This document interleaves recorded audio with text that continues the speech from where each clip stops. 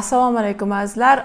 Ayniqsa aziz onalar keling bugun men faqat farzandim uchun yashayapman degan filosofiyani ko'rib chiqamiz. Judayam ko'p ko'ramiz ayniqsa o'zbek mentalitetida o'zbek ayollari onalari butun bor e, borlig'idan kechib e, yuborishadida butun umrini butun e, bor bunini farzandiga sarflashadi va albattaki farzand katta bo'lgandan keyin ona qandaydir bir bir mehrni kutadi qandaydir bir farzandidan o'zi farzandiga bergan narsani kutadi. Lekin mana shu narsa qanchalik to'g'ri? E, masalan hozir sizga e, ota onangiz aytishsa seni deb e, masalan orzu havaslarimni qilmagan edim. Yemay yedirdim ichmay ichirdim. O'zim o'qimadim lekin seni o'qitdim. O'zim kiymadim yemadim lekin senga yedirdim kiydirdim. Desa sizning bu narsaga reaksiyangiz qanday bo'ladi? Bir xilgi farzandlar bor aytishadiki masalan men sizdan shuni so'rovmadim deydi.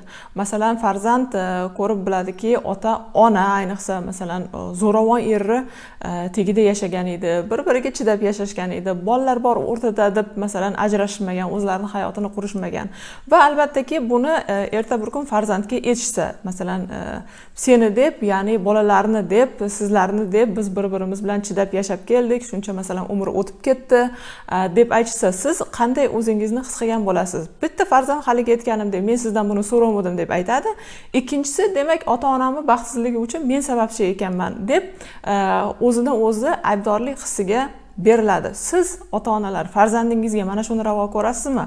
Endi tarbiyada mana shunga e'tibor bering. Siz farzandingizdan nimani xohlaysiz? Э, farzandingiz ham hamma narsadan kechib sizga qarashini xohlaysizmi? Yoki bo'lmasam farzandingiz o'zini hayotidan rozi bo'lib baxtli bo'lib yana uni ortiqcha baxtidan sizga ham ulashishini xohlaysizmi? Ya'ni biz bilamiz qaytar dunyo e, nimani eksang shuni qaytib olasan. Ya'ni arpa ekib bug'doy kutish menimcha biroz adolatsizlik bo'lsa kerak.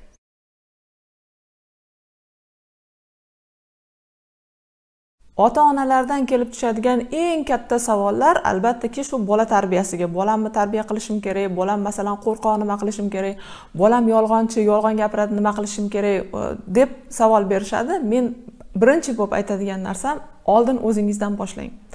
Qachonki siz ona pozitsiyasida turadigan bo'lsangiz u ham bola pozitsiyasida turadi boshqa yo'li qolmaydi. Agar siz ona bo'ladigan bo'lsangiz bolangizga ona bo'lsangiz bolangiz ham bola bo'ladi. Turmush o'rtog'ingizga turmush o'rtoq bo'ladigan bo'lsangiz u ham boshqa iloji qolmaydi turmush o'rtoq bo'ladi. Ota onangizga farzand bo'lsangiz ota onangiz ham ota ona bo'ladi boshqa yo'li qolmaydi. Buni men e, tizimli e, nuqtai nazardan hozir tushuntirib berishga harakat qilaman. E, tizimli nuqtai nazardan har bitta odamni o'zini hayotda joyi bor o'zini o'rni bor. Э, tizimlar э, bizni qurshab turgan tizimlar juda yam ko'p va har bitta tizimda bittagina rol bor. Va mana shu rolni qoyilmaqom qilib bajarsak shu roldan boshqa narsani olmasdan faqat shu rolni o'zini funksiyalarini bajaradigan bo'lsak hammasi joy joyida ketadi. Masalan э, ota ona bilan farzandni tizimi ya'ni ota ona va farzand. Va mana shu mana shu tizimda ota onani roli bu ota ona bo'lish.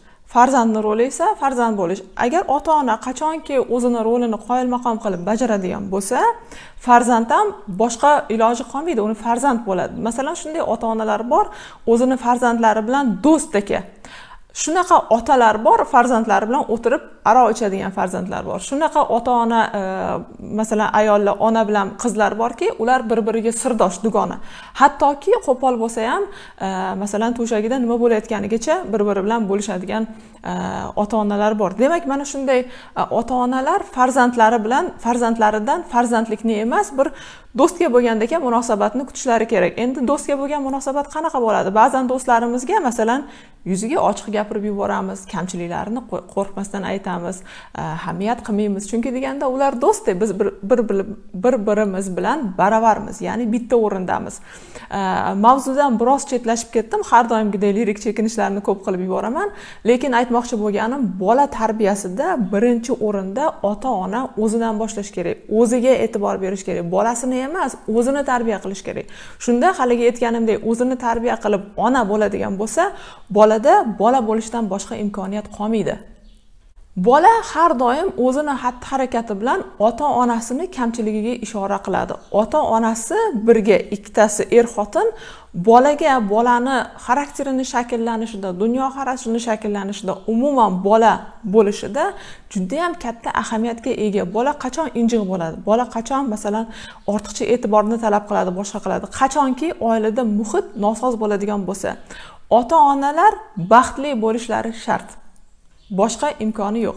Qachonki ota ona baxtli bo'lmaydigan bo'lsa ya'ni er xotin baxtli bo'lmaydigan bo'lsa oilada faqat urush janjal bo'ladigan bo'lsa ota onani xafa qiladigan bo'lsa ona bir burchakka kirib yig'laydigan bo'lsa bola buni ko'radi ko'rmasa ham qalbi bilan ko'rib biladi va bola har doim ota onasini qutqarishga harakat qiladi. Shu bilan bola kasal bo'la boshlaydi. Bolani kasal bo'lishi bu er xotinni orasidagi nosozlikni birinchi belgisi. Chunki bola o'ylaydiki men kasal bo'lsam bu ikkalasi birlashadi deydi chunki bola ko'radi qachonki u kasal bo'lsa masalan isitmasi chiqadimi boshqa bo'ladimi? Ota ona uni boshida girdi kapalak. Bolaga mana shu e'tibordan ham ko'ra ko'proq otasi bilan onasining birga bo'lganligi bolani xursand qiladi. Ayniqsa agar bolani zreniyasida muammo bo'ladigan bo'lsa ya'ni uni ko'rishida muammo bo'ladigan bo'lsa bu e, judayam aniq darakki bola uyda nimanidir ko'rgisi yo'q. Nimanidir ko'rgisi kelmayapti va mana shu nimadir ko'pincha ota ona hisoblanadi. Ayniqsa maktab yoshigacha voy bog'cha yoshigacha boradigan bola uni atrofida faqat ota onasi agar uyda buvisi buvasi yashaydigan bo'lsa va boshqalar yashaydigan bo'lsa albatta mana shular ham bolani ko'rgisi kelmayotgan narsa mana shu oila a'zolarining bir biri bilan bo'lgan munosabati. Masalan buva boboga qanday munosabat qiladi?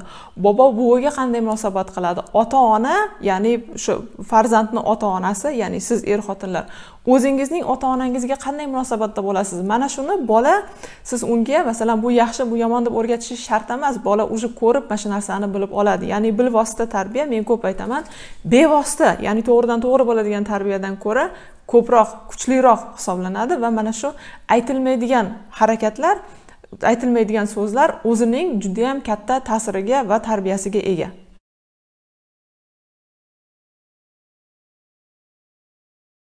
Demak bolada endi e, qandaydir bir e, nojo'ya harakatlar bo'ladigan bo'lsa ota onaga yoqmaydigan harakatlar masalan haligi aytganimdek injiqlik yolg'onchilik boshqalik bog'chaga bormaslik xarxasha qilishlik e, kabi illatlar bu demak bolani ota onani kamchiligiga qilayotgan ishora. Demak mana shunday narsalarni bolalaringizda kuzatsangiz birinchi o'rinda o'zingizga qarang.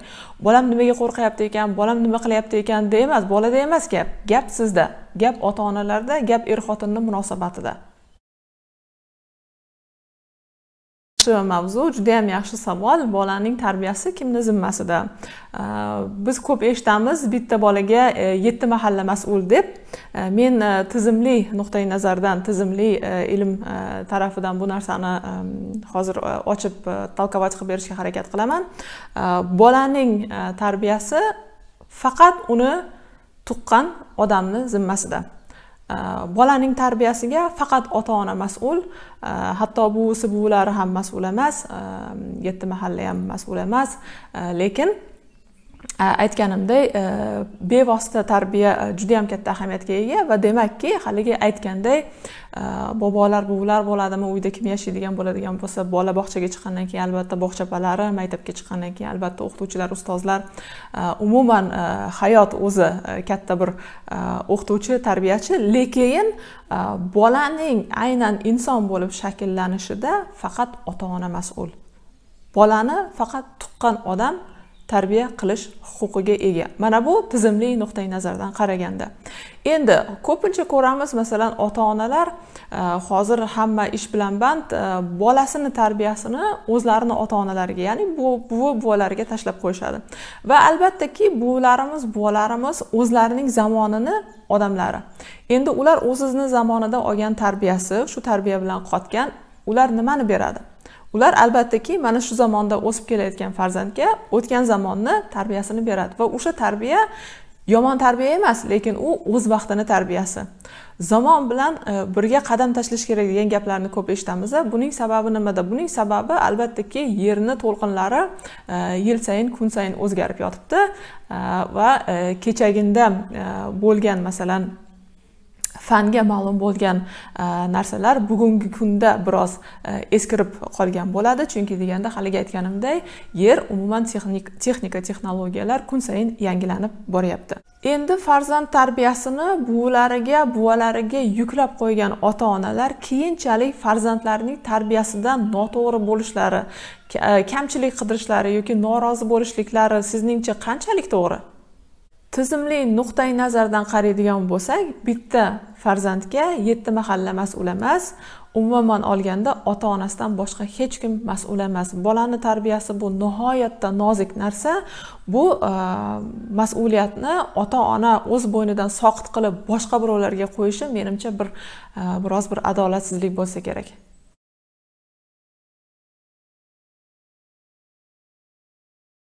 Yuqorida aytib o'tgan edim har bitta odamning bu dunyoda tizimlar ichida o'zini o'rni bor va toki o'zini o'rnida turar ekan shu o'rniga mos bo'lgan vazifalarni bajarar ekan atrofdagilar ham avtomatik tarzda o'z o'rnlariga tushadi dedim. Endi shu o'rinda judayam ko'p kelib tushadigan shunday savollar bor. Masalan ota onalar ishda ota onalar nima bilandir band bolalar maktabda nima qilib kelsa keladi bog'chada nima qilib kelsa keladi bola injiq bo'lib qoladi. Bo'ladi bola qo'rqoq va albattaki ota onani уже bolaga asabi yo'q. Va mana shunda o'z o'rnida men shu ota onalarga savol bermoqchi edimki bolangizga kimni ko'zi bilan qarayapsiz bolangizni kimni ko'zi bilan ko'ryapsiz? Bolangizni masalan mm, injiqligini ko'rasiz e, qandaydir bir to'palang qilishini ko'rasiz boshqani ko'rasiz. Bola qachonki ota onasi bilan boladek emas boshqa boshqacha munosabatda bo'ladi. Qachonki bola ota onasini ota ona deb ko'rmasa haligi aytganimdek demak e, bolasi bilan o'tirib aroq ichadigan e, ota bo'ladigan bo'lsa albattaki bu farzand otani ota deb ko'rmaydi. Bir bir ulfat deb ko'radi. Hamma sirni aytib beradigan ona bo'lsa ham demak shu onaga qiz haligi onadek ko'rmaydi. Uni uni o'zini bir dugonasidek ko'radi va kezi kelganda maslahat beradi. Har bir o'zini hurmat qilgan ota ona uchun farzandidan maslahat eshitish og'ir botadi. Va e, demakki farzanddan mana shunday munosabat bo'ldimi ota onaga ota ona o'ziga o'zi savol berish kerak. Qayerda nito ketdi? Qayerda ota ona kamchilikka yo'l qo'ydi? Qayerda u o'z vazifasini ya'ni ota onalik e, bir buyuk darajasidan pastroqqa tushdi yoki bo'lmasam o'ngga yurdi chetga chapga yurdi qayerga yursa yurdi lekin demak o'zini joyida emas. Ya'ni ota yoki ona joyida emas. Toki o'zini joyida turadigan bo'lsa ona farzandga qanday ko'z bilan qaraydi? Onani ko'zi qanaqa bo'ladi? Har bir odamni javobi o'ziga yarasha bo'ladi. Lekin ona e, umuman ona qanaqa odam u? Ona u mehribon e, farzandiga dalda beradigan farzandini qo'llab quvvatlaydigan farzandini har doim eshitadigan farzandiga to'g'ri yo'l ko'rsatadigan. Mana shu xislatlarga ega bo'lgan ona. Albattaki farzandi biror joyda xato qiladigan bo'lsa uni tejab tergab kerak bo'lsa urib so'kadigan ham joyi bor. Faqatgina uni hamma gapini eshitib aytganini qiladigan ota ona ham juda zo'r yaxshi ota ona emas. Kezi kelganda farzandni ham to'g'irlab masalan o'zini joyini ko'rsatib qo'yish kerak farzandga. Farzand o'zini qarshisida ota ona turganini bilish kerak. Uni qarshisida o'rtoq emas uni qarshisida bog'chapasi emas uni qarshisida bilmayman bir mm, boshqa bir begona e, qattiq qo'l bilan qo'llik bilan tarbiyalaydigan bir nusxa emas ota ona turibdi. Farzanddan ota onaga sevgi muhabbat hurmat va e, minnatdorlik bo'lishi kerak. Boshqa hislatga xislatga ega bo'ladigan farzand ya'ni qandaydir ota onasiga pretenziya bo'ladigan bo'lsa siz uni qilishingiz kerak buni qilishingiz kerak unaqa berishingiz kerak edi menga uni qilishingiz kerak edi buni ta'minlab berishingiz kerak edi deydigan xislatlar ya'ni bular pretenziya deyiladi agar shunaqa pretenziya bo'ladigan bo'lsa ota ona bilsinki demak ota ona joyida emas u. shunday ota onalar ham borki afsuski o'zlarini e, bolalariga bola bo'lib olgan. Masalan e, sen meni boq sen menga pul ber e, sen menga uni olib ber sen menga buni qilib ber degan. Aslida ota onani vazifasiku bolaga qilish. Ota ona katta ular buyuk. Farzand kichkina. Mana bu ota ona bilan farzandni joyi agar o'sha tizimli nuqtai nazardan joylar haqida gapiradigan bo'lsak ota ona bilan farzandni joyi ota onani joyi farzandnikidan yuqori. Va demakki ota ona o'zini farzand darajasiga tushiradigan bo'lsa ya'ni sen menga uni olib berishing kerak sen menga endi buni qilishing kerak ana endi ishlashni boshlading ana endi pul e, topishni boshlading sen menga uni olib berishing kerak sen menga buni qilib berishing kerak deydigan bo'lsa demak u otalik yoki onalik e, o'zini buyukligidan pastga tushib qolibdi boshqa joyga ketib qolibdi ota onani vazifasi farzandga berish. Farzandni vazifasi esa olish. Endi albattaki shunaqa farzand e, ota onalar bor aytishadi masalan haligi aytganimda sen deb masalan yemay yedirdim o'zim yemadim senga yedirdim o'zim kiymadim senga kiydirdim. Bolada aybdorlik hissini tarbiya qiladi ota ona bunday bola albatta katta bo'lgandan keyin oldin ota onasi oldida aybdorlik hissi bo'ladi. Keyin boshqalar oldida turmush o'rtog'i oldida bora bora bolalari oldida ham aybdorlik hissi paydo bo'la boshlaydi. Chunki deganda men o'zim ko'p videolarimda aytaman biz tashqaridagi odamlardan ya'ni atrofimizdagi odamlardan ota onamizni ko'zini qidiramiz va ko'rgan odamimiz odamimizga ota onamizdan bizga bo'lgan munosabatni kutamiz. Ya'ni ota onamiz bizga bir sen o'zi kim ham bo'larding bir sen e'tiborga loyiq emassan degan harakatda qaragan bo'lsa biz ham boshqalardan shu harakatni kutamiz va albattaki shu shunday munosabatga ega bo'lamiz. Demak ota onalar sizga savol. Qanchalik to'g'ri demak mana shu e, bola uchun yashash faqat farzand uchun e, borini berib yuborish jonini tikib yuborish qanchalik to'g'ri?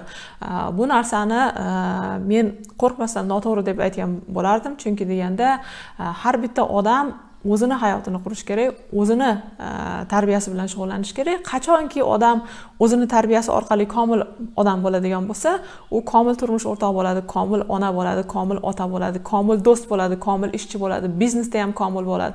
Hamma narsa odamni o'ziga bog'liq. Ya'ni biz Э, oldin bolalarimizni tarbiyasini qilishimiz kerak deb deb hamma e'tiborni bolaga beramiz. Aslida tarbiyaga muhtoj o'zimiz.